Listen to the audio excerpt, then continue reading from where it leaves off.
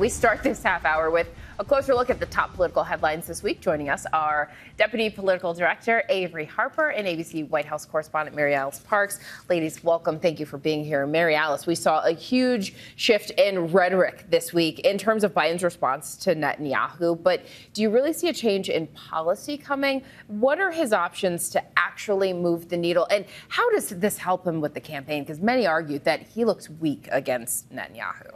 I mean, you're right that this was a big uh, rhetoric shift. The question is, does he put any policy changes behind it? And and look, there are points of leverage, huge points of leverage. The U.S. is Israel's biggest weapons supplier. We give more military and foreign aid to Israel than any other country. At any given time, we're talking about hundreds of contracts. On a standard year, we're talking about over $3 billion in military weapons uh, sort of transfers to Israel. So there are all of these points where the president could slow roll, could cut weapons that would um, make a huge difference. I mean, it would send an unbelievable message. Now, that would be a huge fundamental shift in U.S. policy towards Israel. Some Democrats are absolutely pushing for that. This week we saw 40 House Democrats, including former Speaker Nancy Pelosi, say that that's what they want. They want an end to weapons transfers to Israel right now, especially given what happened this last week with those aid workers killed.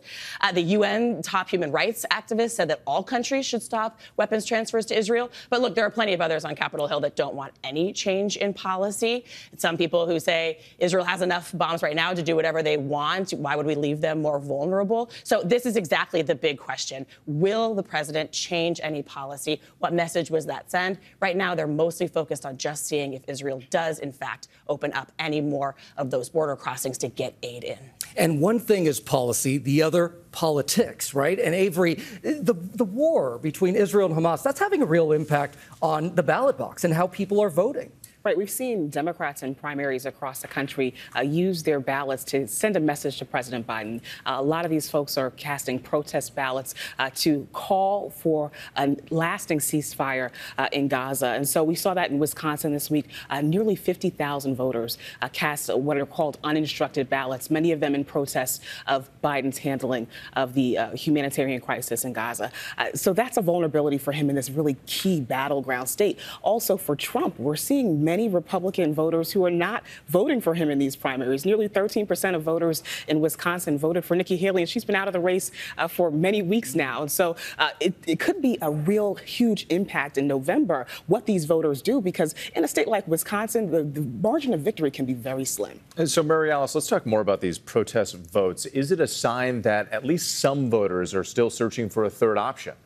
It could be. I mean, look, these are two incredibly unpopular candidates, relatively speaking, to, to previous elections. We have seen signs that people are still looking for something else. This last week, though, if you were searching for something else, a big setback. That group, No Labels, they had hoped to have a unity ticket, one Democrat and one Republican running together.